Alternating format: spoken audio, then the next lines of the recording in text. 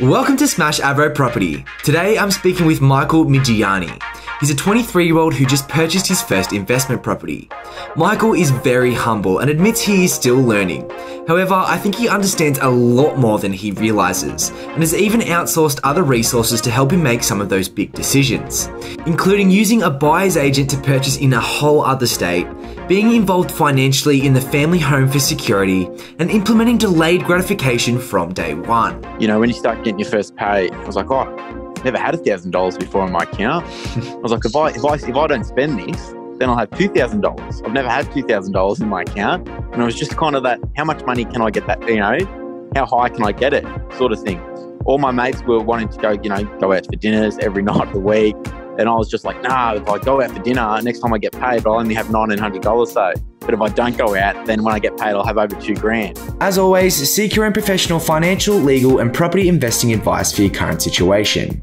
Everything we talk about is just our opinion and general in nature and should never be considered as personal advice. So without any further ado, let's get house hunting with Michael. Michael Miggiani, welcome to Smashed Avo Property. Hey, mate, how are you? Very, very well. Welcome, welcome on board. I'm, uh, I'm pretty rapt to get you on here. I uh, scrolling through my LinkedIn the other day and uh, saw a, a post from a former guest of the podcast, Daniel Walsh, and it was a, a client uh, referral, mate, and it was uh, it was yourself. And uh, you're you're a young man, very positive and, and happy, and just bought your first home. So I uh, reached out to Daniel and, and, wanted to get yourself on, but I'm very intrigued about yourself, mate. We've had a, a bit of a back and forth uh, off air beforehand, and uh, you sound like a pretty cool guy, mate. So I'm interested to delve into your story and, and what you do and what you're about. So um, to get us started, why don't you give us a little bit of a background about yourself, how old you are, and, and what you're currently up to?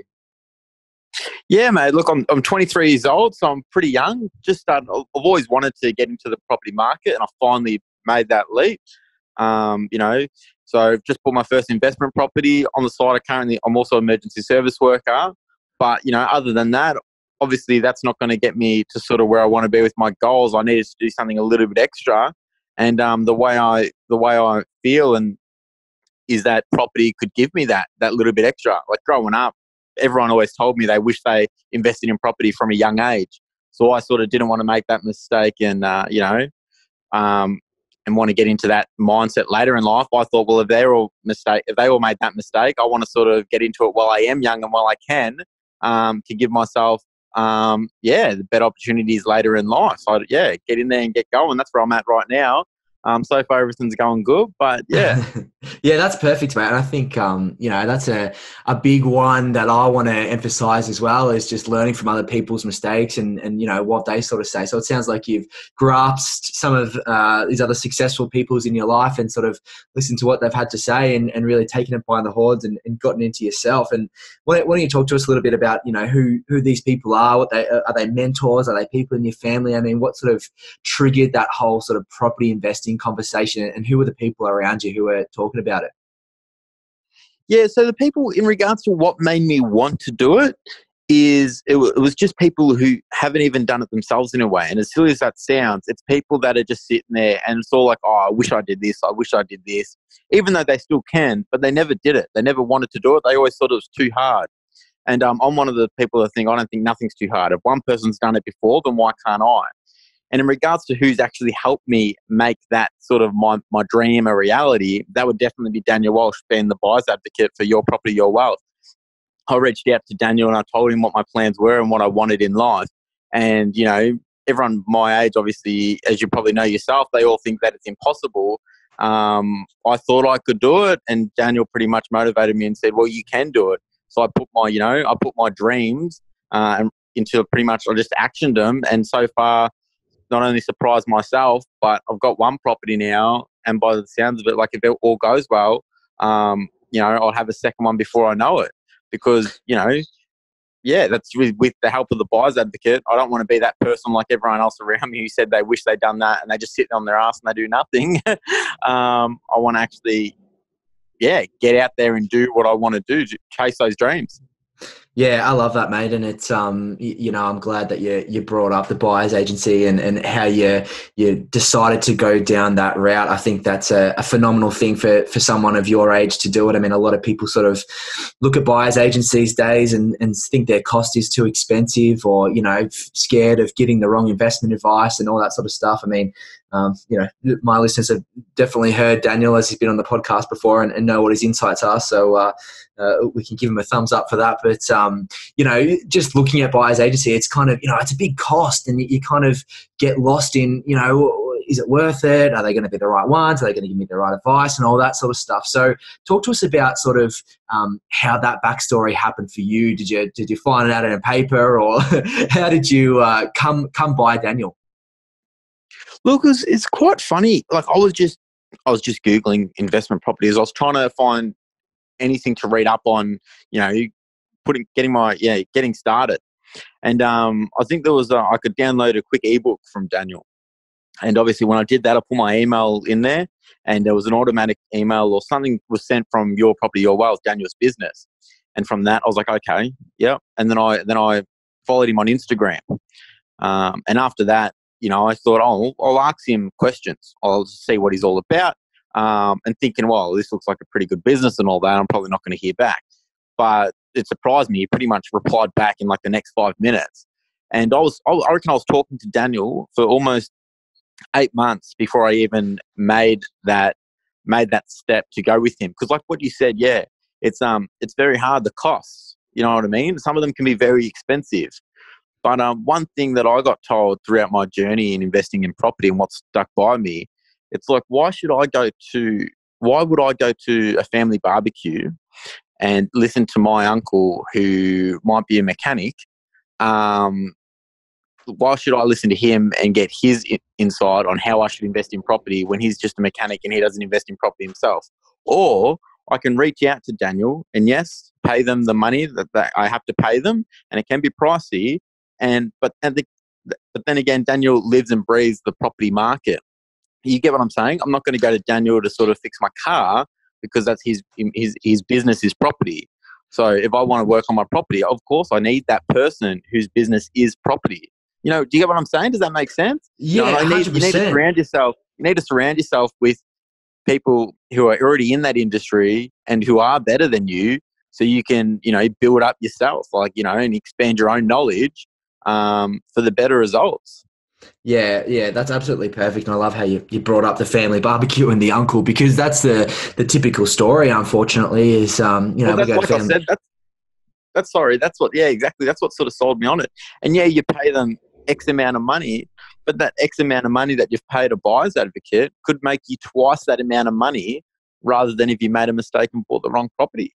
Oh, 100% spot on. And, um, you know, they, have they've, they've invested all their time and education and, and learnings and, and doing it themselves and strategies into, the, you know, their history of building their portfolio. So you're, you're not paying for a service, you're paying for their knowledge really, which is um, so crucial in, in when you think about, you know, you know, someone like yourself who's 23, you got the rest of your life ahead of you. If you hold on to that asset for the next 30 years, you're going to laugh at the cost of, of getting a buyer's agent now. Like it's just going to see seem insignificant to um, that that long term investment hold. But um, yeah, just back to the to the barbecue story. Like that is that is the, the general story. Is you know we're, we're younger, we or you know we, we want to buy a property, and we hear an uncle or a family member say, "Oh, I just bought this property and it's grown in value by 100k," and you know sometimes people, you know, all respective family members and everything else, but a lot of people talk up a lot of stuff as well. And so, how you actually know those numbers are real? And then, you know, uh, some people get caught up in, in buying a block around the corner next to mum and dad, and you know, because that's all the area that they know, and they don't understand that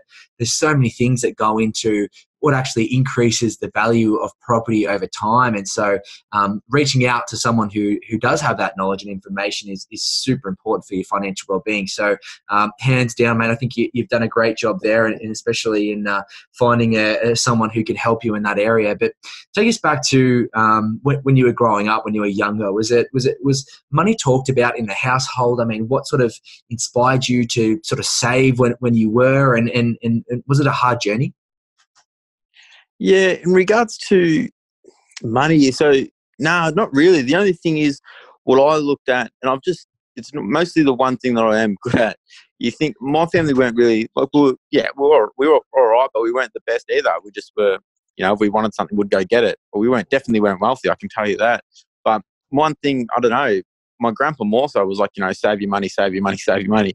Maybe because he was Bob Maltese, but um, but yeah, I suppose that's just one thing that I've realised. Like one thing that annoys me is people, young people who go out and they go and buy a brand new car and they go buy all these nice things and so it looks like they've got money. So then you've got this person on the left, say, who's got the nice car, nice this, nice that. He looks like he's got money, but realistically, all his money's gone in those nice things to come up with that persona that he's got money. Now, I myself, I looked on, I looked on car sales, or whatever. I looked for the cheapest car, 2000, as long as it had a roadworthy, and sacrificed all my money just so I could save more. Because the way I look at it, if you sacrifice now, it was just, I don't know, it's just something that I sort of, I don't know if it's, it wasn't, I just sort of just, I don't know, it's just, I come up with myself in a way, you know what I mean? It wasn't really, no one told me to do it. I just knew that if I sacrifice now with all those things, I didn't need to act like I had money because if you sacrifice today, it is about that 10, 15, 30 years down the track where those sacrifices will get you the better results. Yeah, uh, uh, that's phenomenal, mate. And when you think about that sort of car scenario, like if you went and bought a, a forty thousand dollar car, let's say, you know, on top of that, you, as soon as you drive it out of the dealership, it, it's it's going to drop in value by thirty percent or whatever, fifteen percent or whatever it may be, and then every year after that, due to depreciation, it's going to continue to come down in value. So after five years, you know, it, it might be worth thirty or forty percent of what you actually bought it for, and then on top of that, which a lot of people don't really understand, is inflation. And, and what inflation is, the, the cost of money um, decreases over time. So if you put $1,000 in the bank last year, it's actually worth, it, inflation's 3%, let's say, for example. If you put $1,000 in a bank account last year, it's actually worth $997 this year in, in last year's money. So the, the cost yeah. of money, the value of money is, is constantly coming down. So when you combine that with a $40,000 car that you're now paying paying interest on from the bank because you borrowed a loan, then the car's depreciating and you put inflation on top of that. It's just that people don't understand how uh, easy it is to drown financially with these repayments. And, and the worst part about that is, you know, after five years, they sort of uh, want to keep that persona up, as you say, and so they go and buy a new car and they refinance the old car. Uh, they they sell the old car, trade in the old car, and it's just this constant battle of uh, the, the, persona and trying to seem wealthy, but really behind the scenes they're they're struggling financially, and that's why it's so easy to get caught behind. But um, yeah, I love that uh, analogy, mate. You did really well there, and um, it's very interesting that you you came up with that yourself, you know, buying the, the least amount of cars so you don't lose money. That, that, that's awesome. So, um, I mean, talk to us about that, that sort of savings journey. I mean, um, did you start when you were really young? Did you start when your first job? I mean, what was your first job? You know, how much were you earning? All that sort of stuff. Was it was it a long process? Were you saving up until you bought your first one, or was there sort of a, a trigger point where you went, okay, I really want to buy a property now. I'm going to start saving harder. Yeah, I suppose from the as soon as I started work, my first job, I was like 15 or something. It was just a Foodworks, a supermarket. And, um, you know, when you start getting your first pay, I was like, oh, I've never had a thousand dollars before in my account. I was like, if I, if I, if I don't spend this, then I'll have $2,000. I've never had $2,000 in my account. And it was just kind of that, how much money can I get that, you know, how high can I get it sort of thing. All my mates were wanting to go, you know, go out for dinners every night of the week. And I was just like, nah, if I go out for dinner, next time I get paid, I'll only have $1,900 so. But if I don't go out, then when I get paid, I'll have over two grand. And it was just like, I knew where I wanted to be. And I knew the property was my main goal. And it's not easy. I'm telling you, it's not easy. I needed um, a lot of money for the house deposit. And actually, I wanted to start it earlier. But um, it was just, you just got, it's like, it all comes down to that sacrifice saving. Like, my parents went through a divorce. So, me, my mum, and my brother were renting a house. So we, we didn't want to rent, we wanted to buy a house. So before I actually got my investment property, we had to sort of put in together to buy a house. So that kind of put me back a little bit. But then because I did that and my name was already on another mortgage, I had to sacrifice even more and save even more because I needed a much larger deposit. But, you know, I'm sort of going off track here, but what I'm trying to say, it's, it's just all about it's I know there's temptations, but it's once again, if you sacrifice sacrifice and get past those temptations to chase that bigger goal that might cost more, it's that's when you get your result and that's when you get your reward. It's much more, it's much better to put it into something like the house even though it's going to take you four or five years to save a deposit rather than go out for those dinners every week. Yeah, that's that that whole delayed gratification piece, and I do love that you go off track, mate, because you uh, you delved in, you alluded into a very interesting scenario there. So, talk to us a little bit about that. I mean, you, you your brother, and your mum bought a property together. How old were you then? That was obviously your first one, and and and sort of how did that look? Yeah, so so I was like, um, so you know, we had to, so that cost us a little bit, but in like I said, it all comes down to the main thing about buying that house was obviously, you know, because my mum doesn't work. So me and my brother put our heads together and sort of thing. We bought this property just so, you know, mum especially, her money's sort of not the whole dead money, rent money, which renting's not always bad, don't get me wrong. But because she doesn't work, at least when this property goes up, she'll have some money there. Um, but the main thing was getting this it just comes the biggest thing about buying a one house. It's like so now my house is on. I'm 23 years old and my house, my name's on two houses. It all comes down to once your name's on a few houses, it's that hard to get to the next one, and it's always harder to save that little bit extra. But yeah, for sure. Eh here, yeah, go on and and uh, just talk to us about the because the the first time loan deposit and um, first time owners grant and all that sort of stuff back then you know it was a pretty big thing. Was that something that you used? And and obviously it well, sounds like you couldn't recycle that into the second one. Well, that's it. No, I couldn't. So we we put we needed a, um, about a for this house. I think we put down about a seventy thousand dollar like um, down payment to get the house, obviously, to get the mortgage. Um, mm. And because me and my brother never bought a house, there goes my first home buyer's grant as well. Mm. So now mm. I wanted to get, you know, if I if I used my money and I could for the first investment property was my first ever house, That you know, yeah, that um, first home buyer's grant's always helpful. But the next one I didn't have it. So when I started my first investment property uh, last year, it was with no first home buyer's grant or nothing. And I couldn't use the equity in this house because it just simply wasn't fair. I just thought, no, look, I'll leave that there. We need that for other things. And I just had to save, save, save, save, save. And it was just all cash deposit sort of thing. Um, and that's exactly what I'm going to have to do for my next um, property when I've already got two under my name. It's hard, but when you work hard, you know what the rewards are going to be. So it's worth it. Yeah, exactly. And I think you know you, you you're accomplishing a, a life achievement as well. You're you're making sure you, you and your mom and your brother are all secure and got a, a property under your name. And you know, as you say, not all uh, rent money is dead money, but it is kind of dead money if, if you're not in an investment property. You know, it's kind of just it, sitting there saving while you can and, and, and paying someone else's mortgage until you've got enough to buy your own property. So you did the right thing there, and obviously, um, you, you, know, you've helped your family out significantly, which is which is pretty important in life, I would guess so too. And not to say yes. uh, not only that, but you've got you know two properties underneath underneath your name. You might you might be in with other people as well, but you know, a lot of not a lot of people at 23 can say that they've got two properties uh, under their name. So it's a it's another achievement in themselves. So um, talk to us about the, the second purchase. I mean, obviously you've had to save a significant amount of money to to get in there without any, any um, sort of leverage from the government. But um, how long did it take you to save for that second one? Was it sort of that same scenario where you weren't going out, you weren't spending or anything like that? You've been quite frugal with your money. Yeah, pretty much. Like, look, I've been saving it. Like I used some money since my first ever job in it too. I ended up having about ninety thousand dollars in the bank um, and after I bought the house, I had about $25,000, $20,000 left.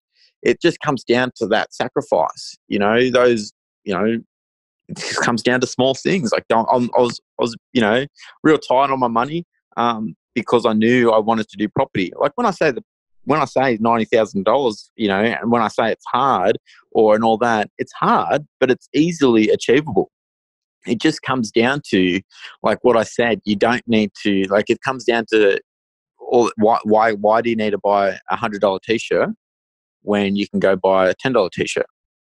It's those things, and when you start to realize those things, and being young, you're surrounded by a lot of people who do go buy those hundred dollar t-shirts, so the temptation's always there. But being young, when you when I realized that, um, and I realized those easy things, if you just tweak those easy things and say, hang on a second, I don't need to go spend that much money on that when I can buy it for you know a tenth of the price that's when you see your money grow and it grows quick just by those little things. And then before you know it, four years down the track, three years, two years, there's your deposit and now you've got a house. Yeah. And I think it's hard, but it's achievable. Uh, yeah, I totally agree. I think it's a hard thing, you know, for, for young people like like ourselves. Like uh, growing up in high school, I mean, I don't know what it was like for you, but for me, you know, buying those sort of you know shirts like Rip Curl and you know all these surfing brands and all that sort of stuff, you know, it's kind of a, a status thing. Like you weren't cool unless you were wearing that sort of clothing. And so it's kind of it's a it's a big mind shift to move out of that and say well i don't really like i don't really care what other people think about what i'm wearing. Like i, I still want to look good but I, I, can still look good in a $10 t-shirt you know? And it's just about switching that mindset of of of coming out of that you know being driven by that's that status. And i guess that's we're sort of retouching on what we said earlier on is is just this persona of being wealthy or persona of being well off when when really you know behind the scenes there's so much stuff that could be going on and, and you're not in a in a ideal financial situation. And did, did you find that coming out of high school? I mean what was it like for you back then in regards to what exactly sorry are you asking like like just um just uh, you know that that persona of buying a hundred dollar shirts and all that sort of stuff and sort of keeping up with the joneses as they say. Yeah. Yeah. You know what? It actually um i kind of looked at people and i laughed as as weird as it is because you can it was right in my face and i said i could i can see straight through it you know, you look at someone or whatever, and it's like, look at this guy. He thinks he's got all this money in the world, but he spent all this money on his car loans, his this, his this, his this, and this. And I just sit back in my little two thousand dollar car and I laugh. I'm happy. I was like, you know, if I lived like that, trying to live out of my means, I would get nowhere. But it make that motivated me to keep doing what I was doing and to live in my means and to keep sacrificing for that better result. when it was in my face, it actually made me think, well, good, I'm on the right track he can act like he's got everything in the world, but I'm just going to stay on my path and I know what I'm chasing for. Yeah, mate, that's uh, that's phenomenal, especially for for a young guy like yourself. Just to to sort of see the world from from those glasses at a young age is is phenomenal, and um, I'm sure you're going to go pretty far. And talking about your future and uh, trying to get back on the topic of property investing. I mean, what's uh, what, what do you see the future looking like? I mean, what's your goal for property investing? I mean, where do you, where do you go from here? You've alluded to getting the third one at some point, but I mean, where do you see yourself in, in sort of 5, 10, 30 years? Yeah, so look, I normally just count. I've count that I've got the, the first investment, and I want I do want a second one, and I do want it quick because once I get the second one, it'll be a lot easier because of equity and all that sort of stuff. But my goal is to have my second property at some or the deposit at some stage next year. And like I'm struggling, but a little bit with the saving because of this uh, the first one. But look, it's not going to set me off my goal. I do think it's achievable. But in the next 30, 30 years, uh, or the next even the next 10, 15 years, I'd love to have yeah about seven properties plus. Like I went to I went to Daniel Walsh, and I can't yeah I can't praise him enough. And I said, look, I'd love three properties by the time I'm 30. And he said, okay. And he, you know, but then working with Daniel Walsh, now I'm sitting here at home and I'm thinking, you know what? I could probably do heaps better than three properties by the age I was 30. And, um, but I need him on my side to do that. If I did it on my own, I could make these little mistakes. But with Daniel, Walsh on my side, I definitely think my goal of three properties, I could smash that out of the park. And that's definitely my goal. It's that financial freedom. And he talks about that a lot. And I can get that from property rather than where I'm working right now. I can, if I do both, I'll be laughing. Hopefully. Yeah, for sure. Hopefully, hopefully. Um, yeah, no, hundred percent. You know, we've all got to work to to bring in the income, but um, instead of living paycheck to paycheck, you're you're setting up your your financial well being into the future, and you know, it's all about setting those little goals. Like if you can see you can see that your your goal can get bigger and bigger and bigger, why not go for it? Especially when you've got people, you know, very experienced and with great knowledge behind you, you know, backing you and saying, giving you reinforcements and, and saying you can achieve better. I mean, why not really? So, um, yeah, talk to us about the your first investment. I mean, what sort of area did you buy in? Were you were you at Tossin and Turney? You said it was a bit of an eight month process. It was a long process. I mean, walk us through those eight months. Did you did you learn a lot in that experience? Did you um, did your mind change heaps? I mean, what sort of what sort of was going through the process then? Yeah, I wish I wasn't eight months. I wish I started earlier. You know, I wish I um the first time I reached out to Daniel, I was umming and ahhing. You brought it up before. It's the cost, you know, and I, I you know, I wish I didn't. I wish I didn't see that cost as a bad thing, uh, and I wish I jumped into it earlier. To be honest, was it scary buying my first investment property as much as I wanted to do it? Yeah, bloody oath it was. Did I want to buy something around my local area because that's all I knew? Yeah, it was. all of a sudden now I've got a property in Brisbane. You know, I never would have thought I would buy interstate. I, you know, and with Daniel's team and Daniel's support on the side, I've bought that house and um, it's ran so smooth um, and it's interstate. You know what I mean? Like from Daniel's taking me out of my comfort zone and then some. And being out of your comfort zone is obviously the best time where you grow. But I would have never would have never done this. Um, and I, like I said, I would have just bought somewhere in the area where I know. I wouldn't have even researched properly or looked into it, or wouldn't even known what to look into if the property was gonna, if the area was gonna go up with infrastructures and all that sort of stuff. But yeah, I just wish I started sooner, to be honest. Yeah, and that's that's a part of the piece of surrounding yourself with quality people. You know, like if you told me at, at 18 years old I was going to go buy a, a, property in a different state, I'd be I think it's silly. Like I'd be like, why would you why would you do that? And it's not until you've walked the path and had some education and, and listened to the reasons why until you realize you know why it might be a good idea or, or, or what are the potential success stories that you can come out of that. And um, I think that's a great one. And and and, and why Brisbane? Is it something that Daniel sort of um, you know gave you the you gave you the green light on? I mean, what sort of it drove you there? Was it with some good um, fundamentals? I mean, what, what was the thought process around that one? You know, I had to be honest with myself, and I asked myself, like, you know, what do I know about property? You know, and I knew very little. I knew if you're investing in property, in the long run, you might be better off you know, money wise. And I was like, okay, well, that's not really, that's not much knowledge at all. And then when Daniel says, well, look, I think this would be a good area. And I said, I pretty much just said to Daniel, I was like, look, I'm paying you the money. This is what you do day in, day out. This is your business and you've you've got an amazing business. I said pretty much I gave him free reigns. Like if that's what you think, then I'm on your side. Because like I said earlier, that's what he does. That's not what I do. Why should I tell him my opinions of where I want to buy because it might be completely wrong. So you, it's just that it's scary, but you got to make that step. Like you know, if someone specializes in something that you don't, you'd be silly not to listen to them. Oh yeah, hundred percent for sure. Especially someone who's actually walked the path before you and and you know built a portfolio themselves. Why, why wouldn't you? Um, and, and so, I mean, what is? Have you sort of thought about your exit strategy? Is there a, is there a retirement goal? I mean, all that sort of stuff, or you're still just pretty heavily in the acquisition stage? And as you say, want to get seven before you're thirty, or or do you actually have an age that you want to retire? Do you want to sell off the properties and live off the the, the earnings or, or live off the cash flow? I mean, how does that sort of look for you? Look, no, no exit strategy at all. Um, I'm still early on and I'm still learning. Um, it's just no age to retire as well. It's just like I think it will come down to you know down the track um, when I'm a little bit older in my 30s, 40s. I just love to see how it's going. But until then, I want to just keep chasing it, keep chasing that dream, and build up my portfolio as best I can that's really what I'm doing and see how far this can actually go.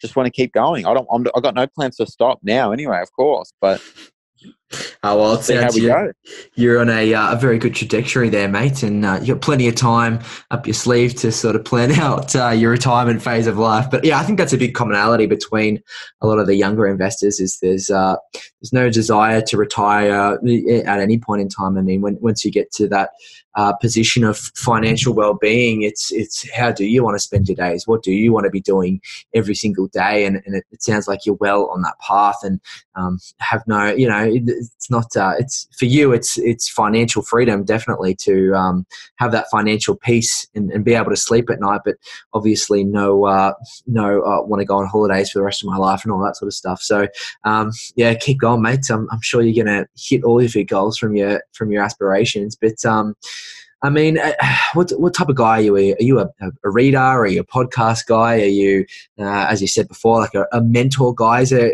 any sort of resources that have helped you along the way, or is it purely just been that um, that mentor drive? To be honest, it's kind of just been that mentor drive, and Daniel's good for that. But it's only been Daniel. It's like right now, right now is where I'm at a stage where I'm like, hang on a second.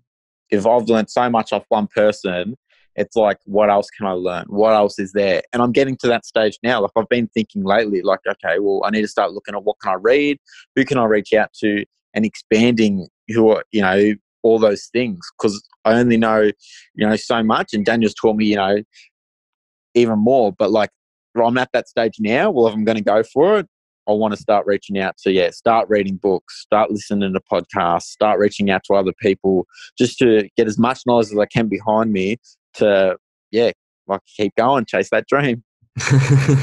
no, that's awesome, mate. And um, I mean, is there any sort of uh, when you were looking for properties with Daniel, were you um, were you online a lot, like on on realestate.com or Domain, trying to find properties and then send it to him, or uh, were you just purely giving him the reins and, and letting him give properties to you? Yeah, I was having a quick look, a few, some, um, and I even um, was even found some that I sent to him, and I was like, oh, you know, what do you think of this? And Daniel Daniel didn't get mad or anything that I sent him a property, even if it was from a different buyer's advocate at the time. I sent him a property and I was like, hey, these guys are saying this. But I always just kept, I always kept going back to Daniel. I was like, what do you think of this? Uh, and he just, he didn't get angry. He just sat down. He's like, look, it's an okay property. Why wouldn't I invest in that? And he slowed it down and he explained to me the reason. He's like, if you got this property, it'd this, this, this, and this um, you you could even lose money, for example, or something like that. Um, it was just I just pretty much you know it was more so Daniel was showing me properties because once once like I said earlier, I just gave him my trust. I, I would look at properties, but I'd I'd just be like looking what looks good, pretty much. You know, I'd be looking at the area and what's around it, but it would all come down to what looks good. It could be something, it could be something small to the house that I bought. I was like, oh, look, it's you know what about the flooring? You know, it's got a bit of tiles. And Daniel's like, yeah, but tiles, you know, it's better than carpet because if you buy a rental property that's got carpet, carpet gets damaged more than tiles. And it's all those little things that I've learnt going through Daniel's stuff. So it was like, it was pretty much gave him full reins um, and put full trust in Daniel to find the property for me. And he did. And it's an awesome property. Mate, that's such a, a, hard thing to do. I mean, we all try and find these biases to confirm that you know what we found, or that, you know we grew up in a in a carpeted place and we love the warmth in the winter on our feet, and you you know it's so easy to try and find all these little biases from when we were younger to confirm that the property that we're looking at is the right one. And um, again, it's just having that that that second opinion or, or a sounding board to bounce ideas off and getting some confirmation back or, or getting some corrective advice back to just say have you thought about this? What about that? What about that? So um, yeah that's that's great mate and, and and it's a big thing to do to let someone you know have full range of your financial well-being. So um, congratulations for that mate. That's a that's a really good one. But um, you know, you're a young guy. You sound pretty pretty motivated and excited and, and taking life by the horns. Um, but but what what gets you into that position? I mean, what what make what makes you get up in the morning? Have you got a favorite quote? Like, what what motivates you in life? Well, it's all that it's all that thing. Like you know, giving Daniel the full trust, even though as scary as that is, it's just like I suppose they say you, you got to take risks to get rewards, um, and that's what I'm doing. It's everything's a risk you do, but and if it and every every risk I take uh, might not always go to plan, but um, it comes down to you know it's it's the whole like you know when you feel uncomfortable is when you grow the most. You know your risks are when you take risks, it's when you get the better um, rewards, and it's just all those little things. If you just if you just sit in your comfortable life sort of thing, and you only do things when you're comfortable, well, how are you going to grow? Yeah, you got to take yeah. yourself out of those comfort zones. Yeah, that's that's spot on, and it's so easy for us to get comfortable. You know, sit in a job for for ten years, and then you know yeah, we're, we're exactly. thirty, and we look back and we're like, oh man, what? I'm nearly halfway through my life. What am I going to do? And it's just, um, yeah, it's so easy to get comfortable, and, and we get so caught up in it. So that's a great. Uh, but look, great if I like through, sorry, through the process, but yeah, like if I make mistakes, no mistake's a bad mistake. It's just a lesson learned, and you have to make mistakes to learn those lessons. Yeah, I, I, yeah, that's spot on, mate. If you, you, that's the easiest way to learn. If you, make the mistake yourself, then um, then you can improve yourself and, and, and be one better than yourself from yesterday. That's all you can do. And, and there's no uh, real mistake in life, as you say. It's just it's just a learning. It's just a lesson, really. So, uh, in wrapping up, Michael, I mean, what uh, what advice would you give someone else in kind of your own shoes, or or even younger who want to get into the property market? Is there a, a final thing that you'd uh, want to inspire them with? Just get in and do it. Obviously, it's going to be harder to start, and a lot comes from that cash deposit, which obviously you need. Um, but if you've got that, yeah, don't wait and don't think about doing it.